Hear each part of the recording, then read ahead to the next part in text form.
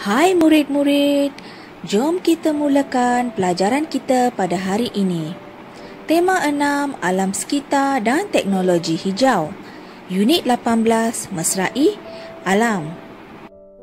Objektif pembelajaran kita pada hari ini, cikgu berharap murid-murid dapat menulis jawapan pemahaman berdasarkan soalan bertumpu dan soalan bercapah. Sekarang, murid-murid boleh buka buku teks jilid 2, muka surat 37. Kemahiran menulis, tajuk Amalan Hijau dalam Kehidupan. Mari kita baca bersama-sama. Keluarga Alice mengamalkan beberapa amalan hijau dalam kehidupan mereka. Ibu Alice menggunakan peralatan elektrik cekap tenaga di dapur. Jadi, Ibu Alice menjimatkan penggunaan tenaga elektrik. Abang sepupu Alice menaiki kenderaan awam ke tempat kerja. Jadi, apakah yang diamalkan oleh abang sepupu Alice? Ya, dapat mengurangkan pencemaran alam kerana kurang asap kenderaan.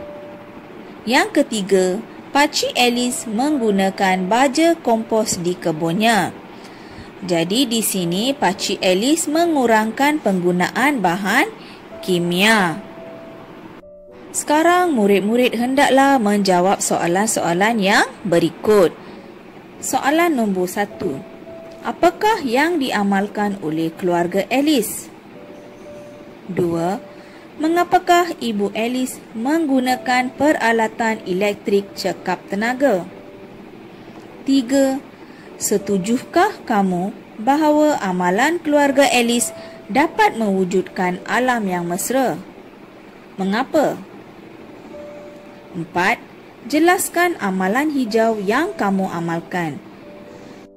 Sekarang, mari kita bincang jawapan bagi soalan-soalan berikut. Soalan nombor satu. Jawapannya, keluarga Alice mengamalkan beberapa amalan hijau. Soalan nombor dua.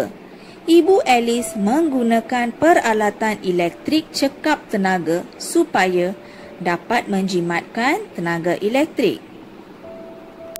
Soalan nombor tiga adalah soalan jenis kebat iaitu kemahiran berfikir aras tinggi.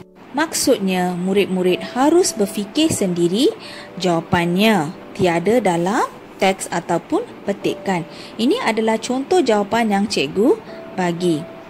Ya, saya bersetuju bahawa amalan keluarga Alice dapat mewujudkan alam yang mesra. Sebagai contoh, tindakan abang sepupu Alice yang menaiki kenderaan awam ke tempat kerja akan mengurangkan asap kenderaan di udara. Oleh yang demikian, udara di sekeliling akan bebas daripada pencemaran asap. Sebaliknya, udara akan menjadi lebih bersih dan nyaman. Soalan bagi nombor empat juga adalah jenis kebat kemahiran berfikir aras tinggi.